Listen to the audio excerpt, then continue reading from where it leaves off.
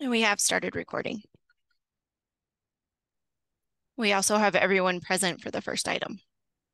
Great, thank you. Well, if everyone's present for the first item and we're recording, we can actually get started.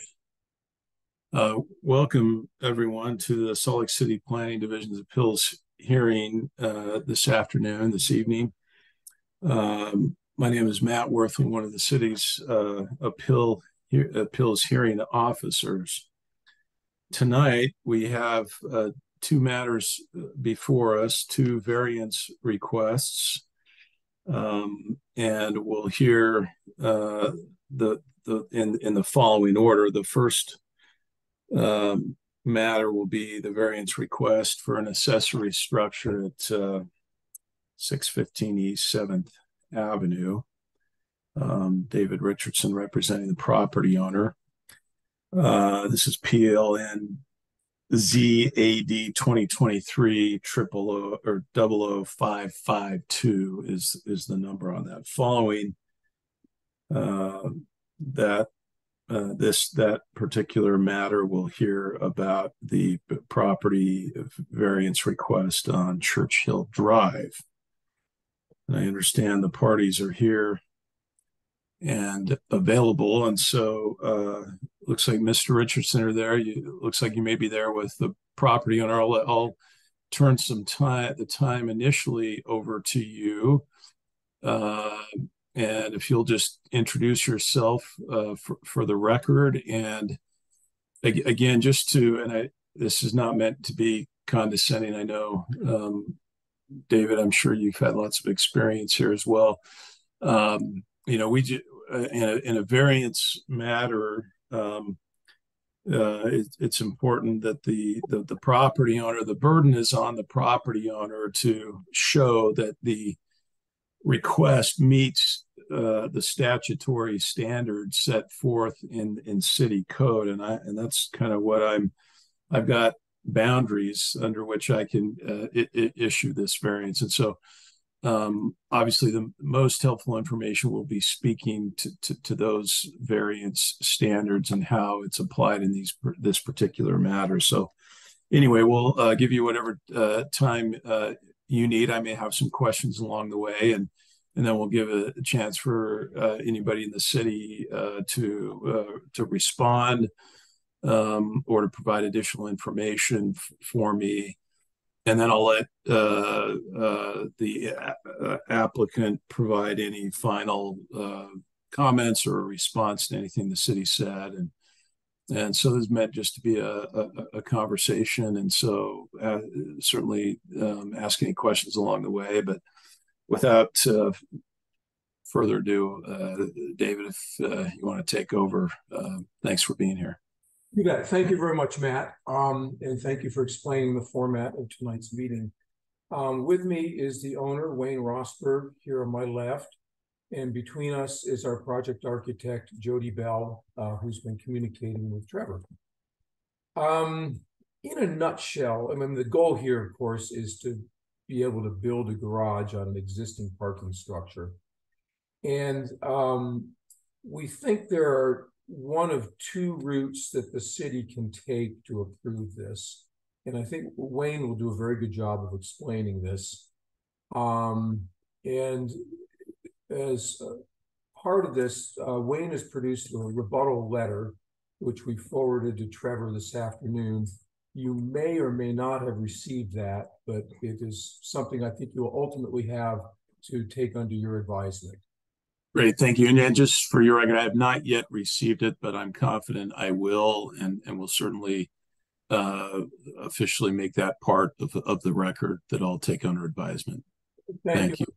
What we'd like to do here is just to give you some high points from that, not dive into it. So um, I'm going to share our screen and um, and turn um, the floor to Wayne. So here we go.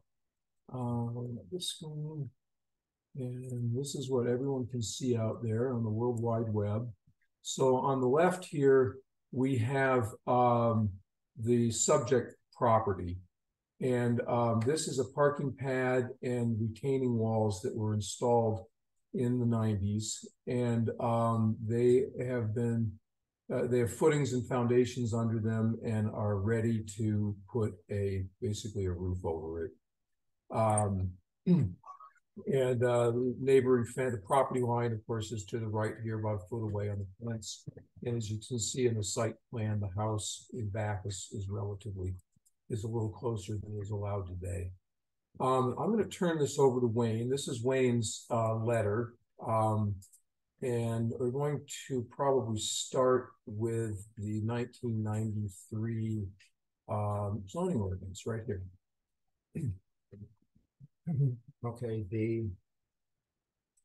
In nineteen ninety-three, I requested a variance. uh, For a more expansive project. Part of which was granted and part was denied. During the hearing on that. uh, Variance request. I was told as a part of the executive session of the board that the location of the parking pad, which had been arrived at by the members of the board along with the city zoning administrator, um, that I, if, a- if constructed, that I would be able to, in the future, place a carport or a garage on that structure. Um, the question has been raised about whether or not that is indeed the case. Um, there's no record of those comments being made because it was made in the executive session, which were not recorded, although they were stated uh, in to the hearing at large uh, in front of the audience and whatever. So it's not like they were secret, but no one recalls them. There's no record of them. The it, uh, Trevor sent a copy of the ordinance from 1993, the section pertaining to driveways, which is displayed on the screen. And the pertinent sections here are H and I. Uh, H it is informative in that it discusses garages and parking areas as synonymous. And it describes the attitude of the city at the time about parking. And in fact, the very restrictive view that parking was only permitted on an appropriately located parking pad or in a garage in the backyard. And that parking was not permitted on the driveway that led to that parking structure. The the the issue at, at hand is well was the statement about being able to put a garage on built on top of this parking pad uh, was it in fact correct? Is it uh, supported in either the record that the statement was made or in the code? And i believe that section i indeed state you know answers that question. Yes it was in the code. Whereas elsewhere in this uh, section, when they talk about a, a, parking pad or a garage, they're talking about them both. In I, they just mention garage uh, and give the requirements that it be 15 feet away from the residence on the adjacent property, 10 feet away from my residence.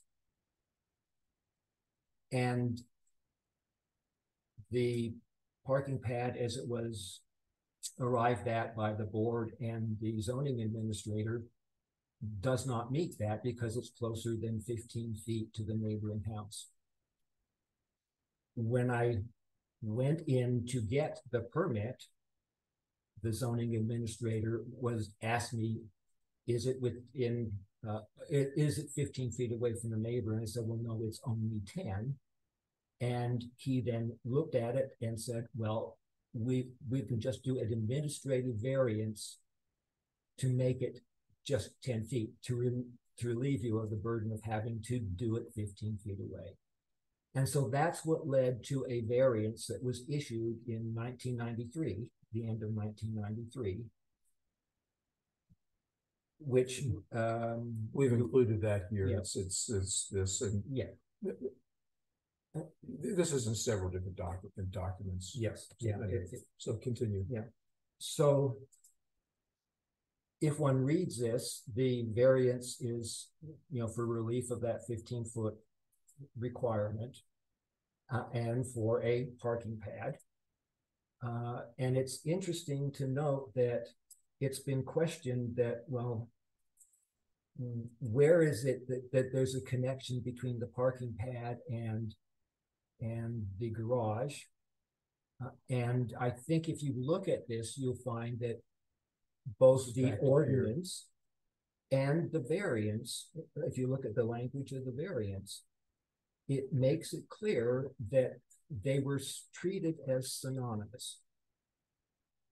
In that if they were not, if the parking pad could have been put there um, in less than fifteen feet, and the garage required fifteen feet, then why is a variance for the parking pad explicitly stating relief from the fifteen foot requirement? Mm-hmm. In other words, the requirements in I for a garage are exactly the requirements that the variance establishes. It relieves the fifteen foot requirement, making it only ten. And in all other respects, the distinction between a garage and a pad are immaterial At that time, it was. In ninety-three. in ninety-three. Okay, so that, I think that's a solid argument using the nineteen ninety-three or, uh, ordinance. And then, uh, should we move on to the other? Yes, Okay, the other one is actually quite interesting. Um, so back up to here.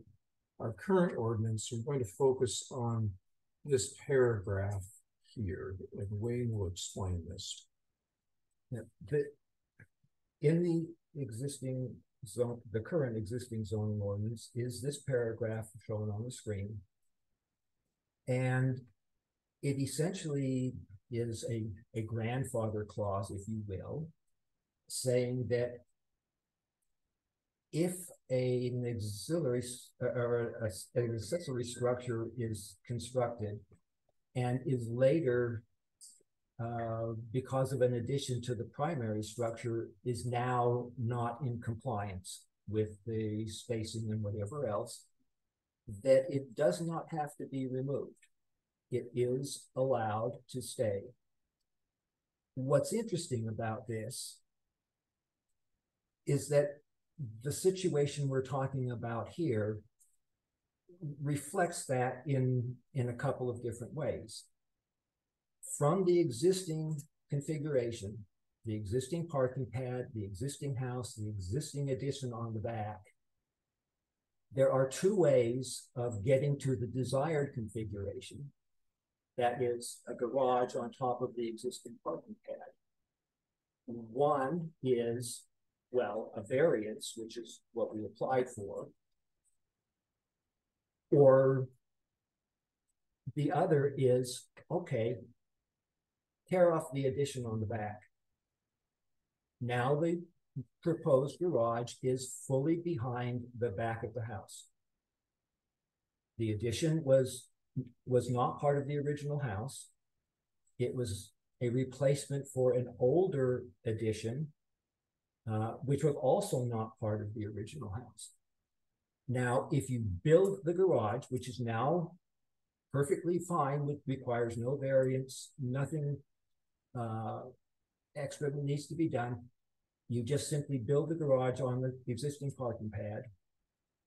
Now you go back and you add on the addition. This paragraph shown here allows that configuration to stay. It's all legal, all the steps along the way are valid. You can actually build a bigger addition. Yes, in fact, that's true. Mhm. And the only requirement is that the garage the accessory building be four feet away from the lateral face of the, the primary structure. And that it be ten feet away from the neighboring uh, residential structure of the, uh, of the budding property. That's all it requires. Now, what you've got is two ways of resolving this. One is to require nothing special, no appeals, no variance, no nothing. Simply tear it off, build anew, and then put it back on. Which sounds ludicrous. No. But it's a vehicle to get there. Yeah. Okay. And, and, and the other is, is simply to, well, permit. gi- gi- given that this pad is legally there, there was a 1993. permit to put it there, there was a variance that. Um. Uh, allowed it to be permitted to put it there. It is there now. But I can't get a permit to put the garage there without a variance. So, And if you don't give me the variance, well, I could still have what I want. Yep. But doing that ludicrous bit of tearing it off, building it and putting it back on. So the, the, uh, I, observed then from this, that this ordinance is inconsistent, at least in this regard. Okay, so we've provided here two primary options. One is to affirm the, the nine, nineteen ninety-three variance that is indeed still valid and the implications that that has. And the other is to simply treat this as though the garage and the parking pad were synonymous as they were in ninety-three, or at least we argue they were in ninety-three.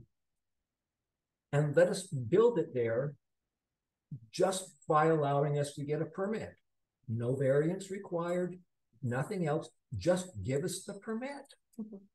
And acknowledge the fact that the nineteen ninety-three variance is still in effect. Okay. yep, and the other is this, this vehicle here, so, um. I'm going to stop the share here, well, we can leave this open, um.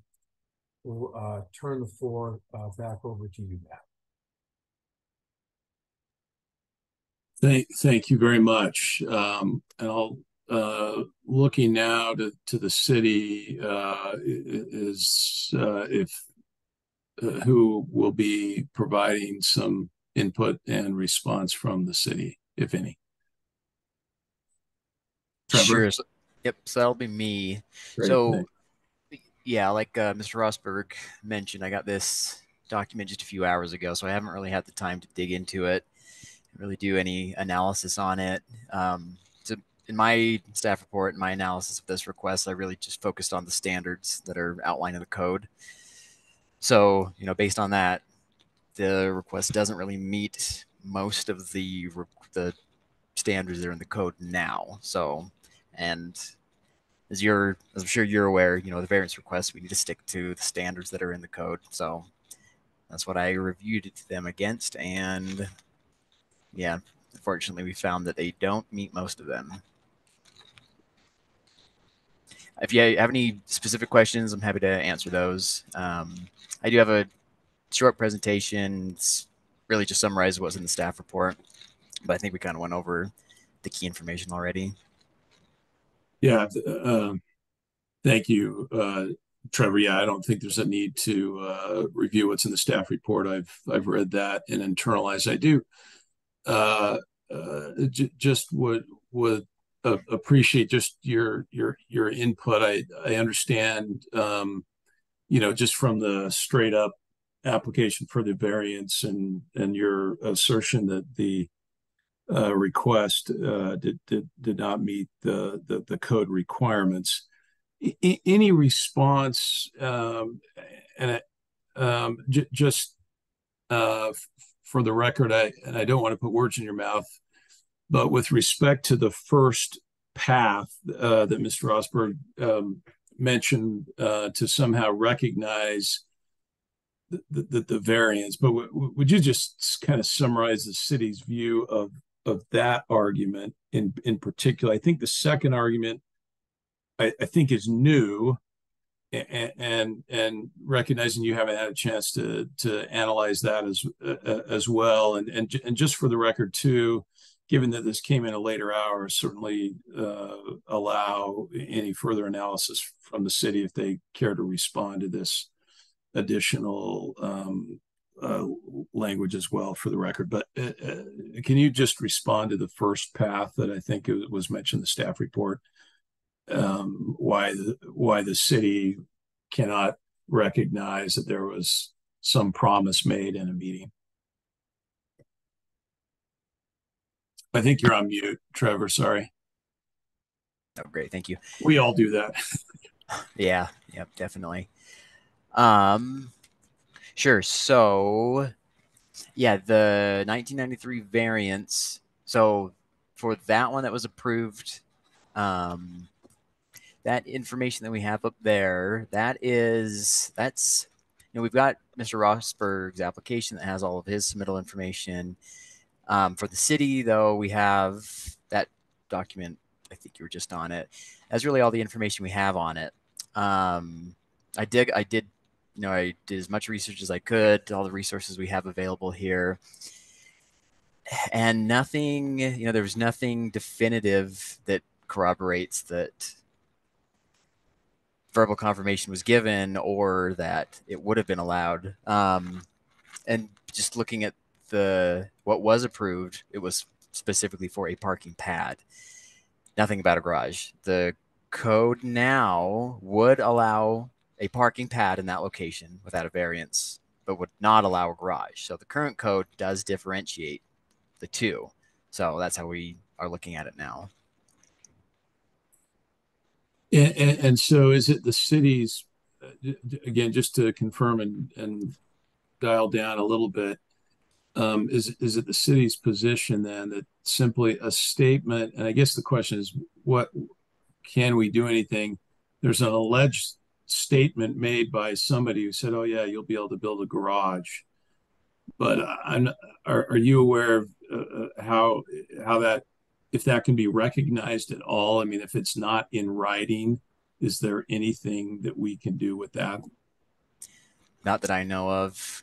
Yeah. Mayara is on here if she's got a, anything else relevant to that, but I, I don't think so. Okay. No, yeah, if we don't have that documented, we go by the language that we can find in the minutes. Um, and it it didn't reference a garage. Um, Yeah. we we believe that they would have mentioned a structure if the intent was to allow a structure, but we can't tell for sure. I mean, we weren't around at the time, so um, Sure. yeah. For the record, Yeah. Mayara Lima is the acting zoning administrator. Great. Thank you. Okay, thank you. That that's uh, you know that's that that's very helpful. Um, uh, David Wayne, uh, a- anything else in response to that, or anything final uh, to to let us know? Obviously, again, we'll take your the the the document you provided, and and I did open the door if the city wants to provide any kind of response that we'll share, but we'll we'll take all of that. Uh, and consider it part of the record that I'll take under advisement. But uh, again, just from a, a conclusion or area standpoint, anything you'd like to add? I would just reiterate the, this- the, the four words that we highlighted in the screen in, uh, this grayish blue color. That in nineteen ninety-three, it, it appears that paragraph H, um, lumps garage parking area in the same, that they're, they're literally in the same sentence. I just wanted to bring that back to your attention. Um, I don't think we have anything else to add. I, I would uh, point you to the um, section five of the rebuttal document. And option one B, which is, okay, if you don't believe the garage and the parking pad are synonymous, then there's another aspect of that variance which is that all of the conditions that you require for a variance were explicitly stated there as having been met for that variance to, to be granted at that time In nineteen ninety-three. in ninety-three. Mhm. The requirements for a variance were the same then as they are now. And And, here you have a, a member of the city staff saying, we judge this request as being compliant. On all of the eight issues that you have in your, uh, report. so, and- and Wayne outlines that quite well in, in his rebuttal. Um, as he mentioned in section five, it's actually, the, the rebuttal is fairly well organized. It's section five point one point two.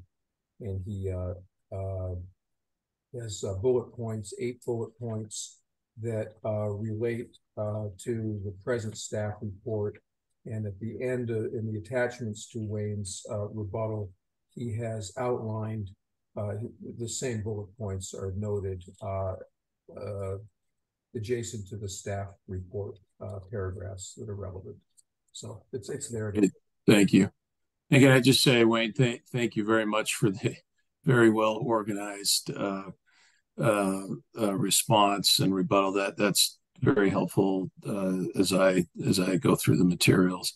One one question I have, and um, uh, it- you know, obviously it's too bad that the garage or the structure wasn't built back in '93 once you had this variance. Is I assume it was just a matter of timing and cost and everything else as to why it never was was built. Uh, is that is that accurate? Uh, yes, that, and the. The reason it's being sought now is, well, it's being sought to house a vintage car. And I could never afford to have the car restored when younger. Just as I could not afford to put the garage on the parking pad when I was younger. But I can do both of those now and would like to do both of those. The car It's is good. and the garage, that's up to you. And may I just intervene uh really fast? Um Wayne did keep that permit open from about nineteen ninety-three until two thousand sixteen. Uh, doing the work, so uh I I believe it was two thousand sixteen, it may have been two thousand eighteen, it's in the document. Uh, so the permit was inspected every six months, he kept up with fees and he kept the permit active with that variance. At which point we only closed it out to consolidate in a new single permit with uh finishing up some of the work. So he's always kept this active and open. Although it would have been great if he could have done it thirty years ago. Sure, Uh, sure. for Really ever since. Okay, that's helpful. It's completely irrelevant for the record, but just curious, Wayne, what uh, type of vintage car is it? It's a nineteen seventy Mach one.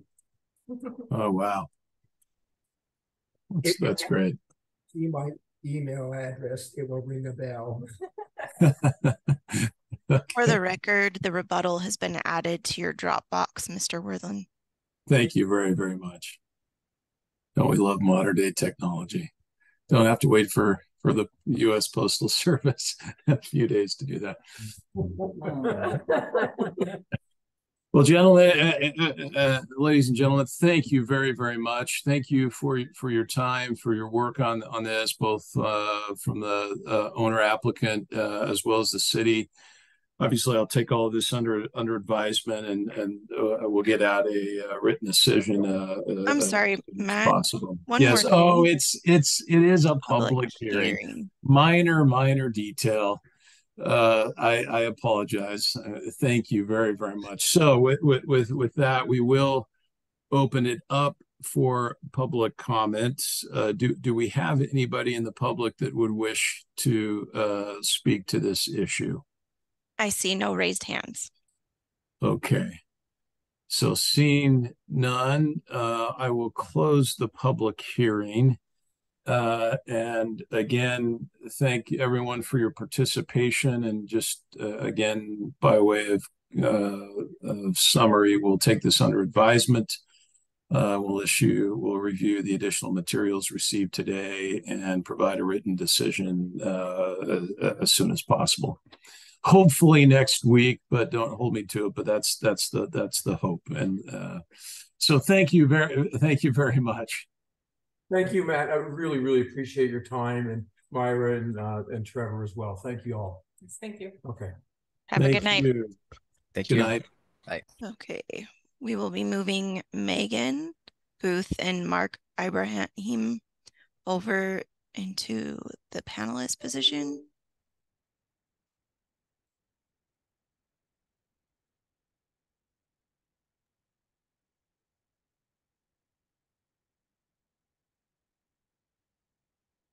Mark, do you have the ability to turn on your video?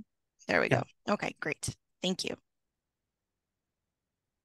Okay, thank you. Uh, moving on to our second uh, item on the agenda tonight. This is a variance hearing for a public hearing for a six-foot fence and gate in the front yard uh, located at uh, 22 East uh, Churchill Drive. Um, and uh, the request is is by Mark Ibrahim, the property owner, for uh, a six-foot fence uh, and gate in the front yard area. Um, this is uh, case number PLNZAD 2023-00522. Um, Mr. Ibrahim, thank you very, very much for for being here. And I'll turn uh, any time over to you. Again, just just so you know, I have uh, both uh, read everything in the staff report uh, and also visited the property, just driven by. Uh, just it's helpful to get that perspective, even though the pictures are are wonderful.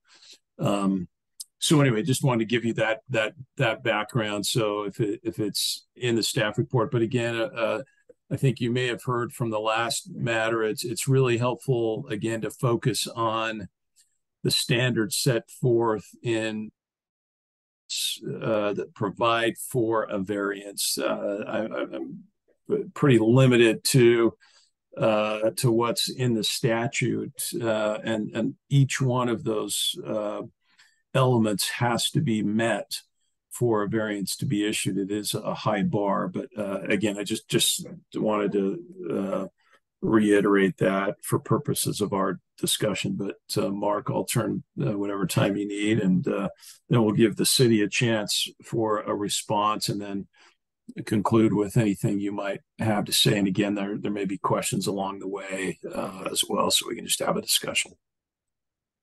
No, thank you, Matt. Really appreciate the time and giving me the opportunity. Can you guys hear me okay? Yes, sounds great. Thank you. Loud and clear. No, and I appreciate that you coming on site and taking a look as well. Um, so in in summary, and I I would be really brief here, is the the the, the thing that we are we're uh, kind of concerned about is we wanted to do a a, a see-through aluminum fence around the property and secure it because of multiple reasons and wildlife, uh, prior intruders activity, and um, safety concern for myself and the family. And we encounter a situation where um, the driveway is about four and a half foot below the street level.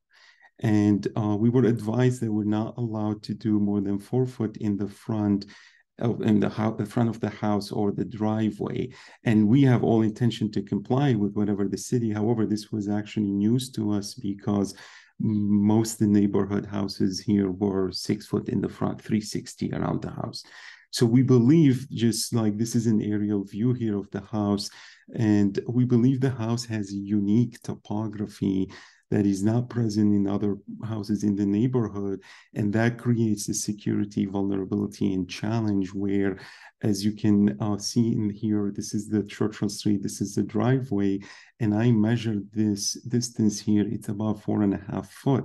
So, and this is the line that we intend to put the uh, double gate here on. And having the gate at the four feet height, it will actually just help pedestrian to just come in, step on the top edge and jump inside the house. So it would really not secure it. And that is causing significant um, concern to me, and I believe it's related to the property and not something that we created. And um, as a result, we're requesting a variance here. We had prior uh, issues with uh, wildlife, and I indicated um, incidents where my poor two-year-old son encountered this uh, uh, coyote on the patio at some point, and, uh, and Oh my gosh, that's amazing. Uh, so he was he was there. The coyote was right in front of him. Yeah, he was actually on this side here, and and he started screaming, and we felt like maybe he fell, but then the coyote, I think, was injured, and he ran away. Oh, but, thankfully. but, but it, it it was a it was significant hardship for him, poor guy, and um, but- Oh, I'm so I'm so glad he's okay. yeah, he is. But uh, so that was a real thing in the backyard. There's also significant damage from the wild activity from the deer. And we just felt like securing the property would be the best uh, option for us. But we're just being challenged by this unique topography we're putting a four foot gate and a fence here may not secure it. You may we may argue that maybe having the six foot gate and attached to a four foot fence here might do the job and i'm open for any you know suggestion or or compromise or that but i just believe this aesthetically and from a security standpoint that does not make sense here because of this challenge and looking into properties in the same neighborhood i i realize some they have different challenges though but they all were you know, uh, instructed, uh, constructed as a six foot gates and fences in the same street that we are at. So now I don't want Mark, to. Mark, can I interrupt you? Just I, I, I am curious about that, and obviously troubled because you know it. it I, I- I'm with you. It doesn't seem very fair when if if all your neighbors have this Yeah. and you're g- going through the process and and asking for it, but but but can't have it. Do you have any idea when when when these were all installed by your by your neighbors? Are these relatively new, or have they been there for 20 years? Do you have any sense of that? Yeah, uh, I I was told they have been there about 20 years plus. Like Okay, okay. they were original. And um, we were told, just in all honesty, that this neighborhood did not require a permit because it was supposed to be an HOA and they have already kind of a semi-private street here where the city sign where this is a private street. But that was, I think, the common knowledge where people would just do the fence without the, I don't know, but that's what I was told. And unfortunately i wanted to do it the right way but now i'm encountering this challenge and i hope you guys will consider all the factors here. And from a safety and neighborhood standpoint i think this promotes safety and it does not obstruct views of anyone and neither like the traffic here. It's a see-through fence that will be fairly semi-visible like it's not really obstructing anything.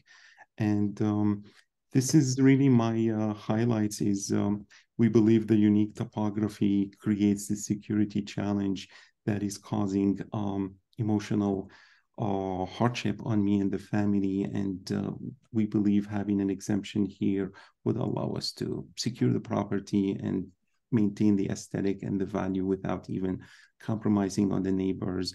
And also that gives us justice similar to other neighbors who've been enjoying their 360 secure property for 20 years plus.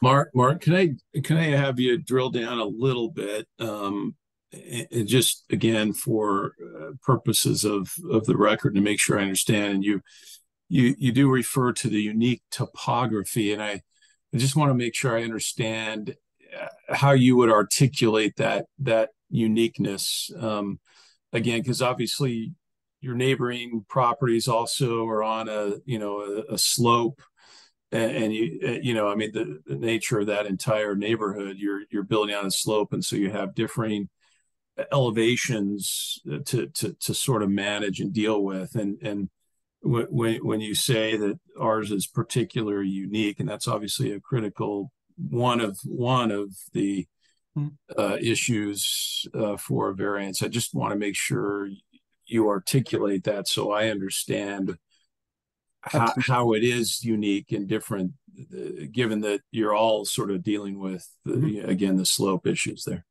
So the unique component of it is it is below the driveway is far below the street level.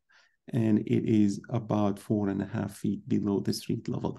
Most of the like actually all the houses in the neighborhood, we can tell the driveway is above the street level.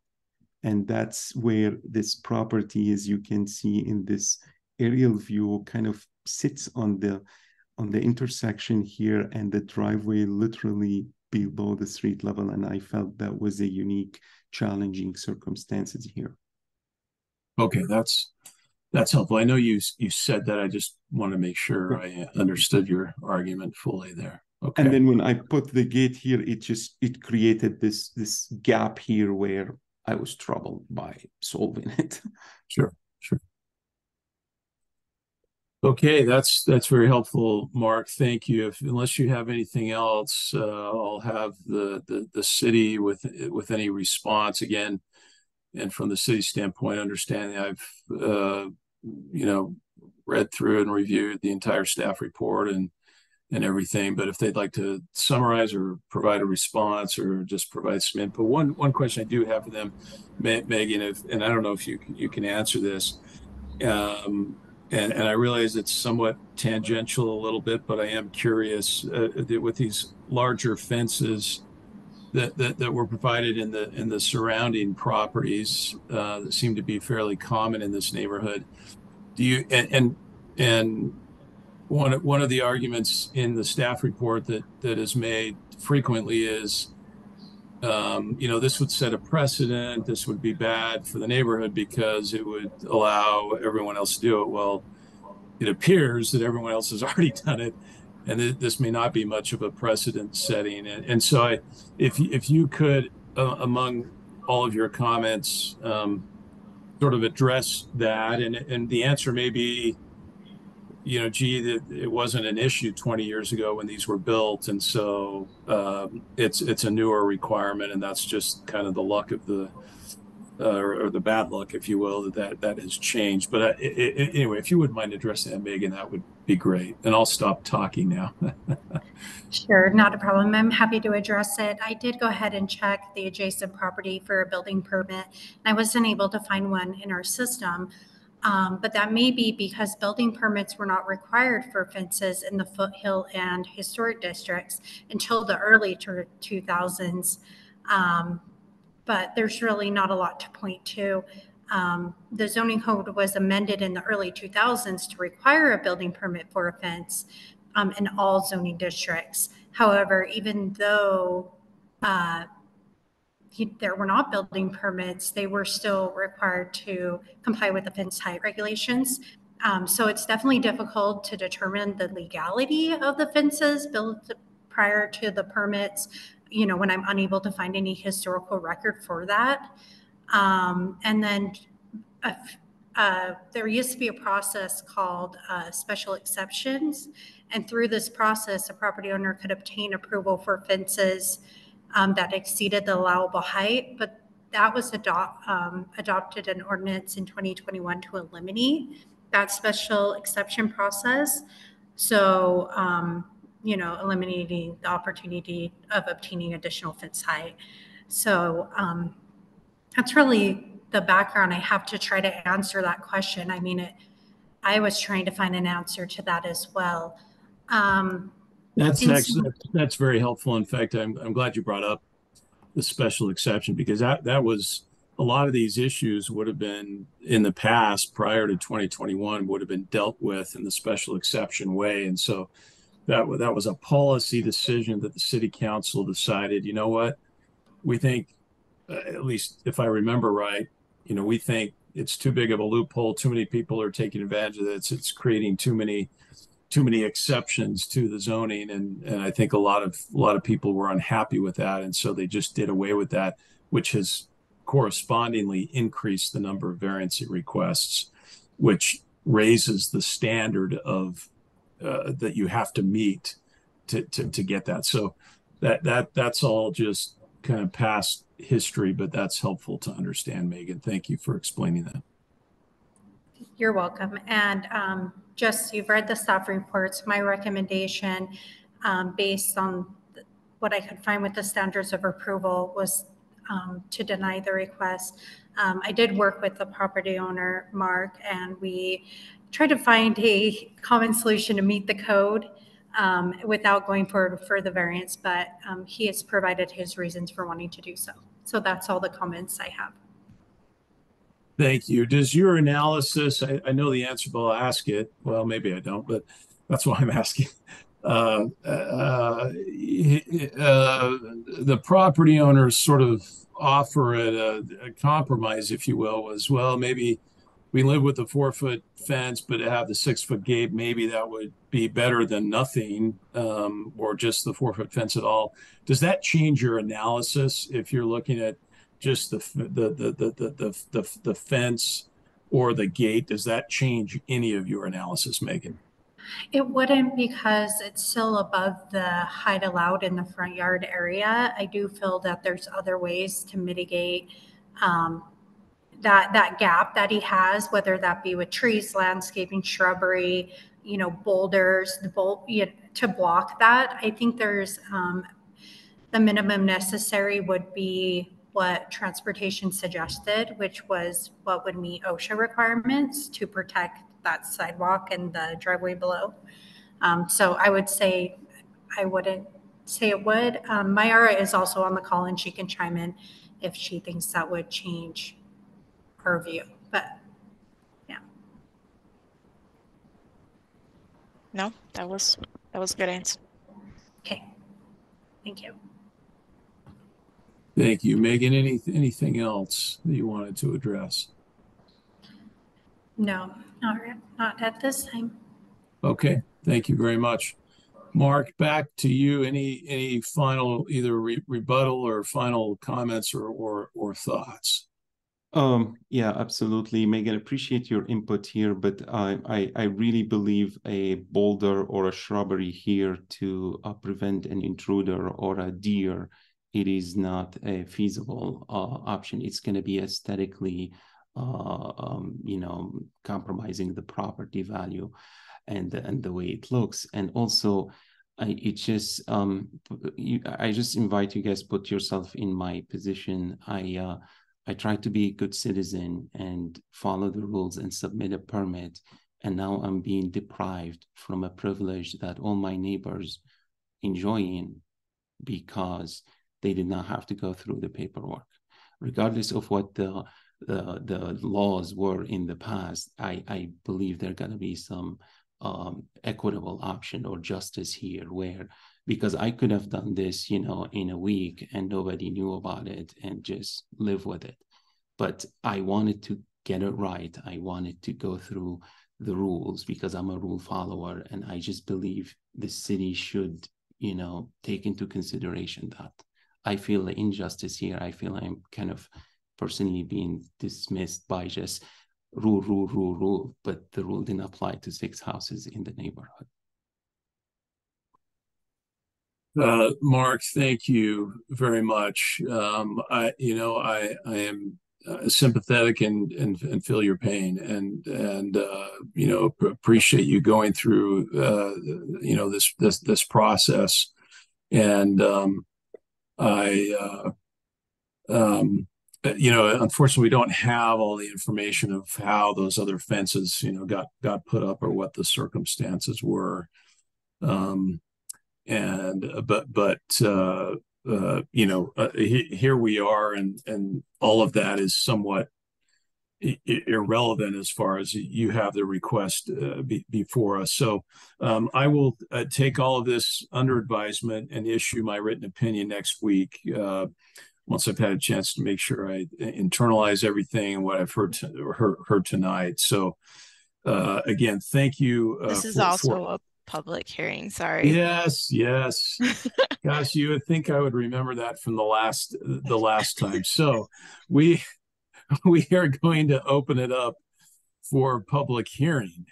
Uh, is there anyone uh, uh, in the public who would like to uh, share any uh, thoughts or comments uh, to this particular matter before us tonight? No hands are raised. No hands are raised. So hearing none and seeing none, we'll close the public hearing. so grateful for people who know what they're doing. Thanks for keeping me on on on track tonight. Uh, as as stated before, I'll I'll take this under advisement, issue a written opinion next next week. And again, uh, Mark, glad your son is okay from the coyotes, and uh, uh, appreciate you coming to the city to try to figure out a, a, a- a solution. Again, I'm bound by what's in the code, uh, but uh, we'll take all this under advisement and issue my opinion next week. Thank you, everyone, for your time. Thank you. Thanks, Mark. Have a good night. Good night. So that it concludes our appeals hearing this evening. Thank you.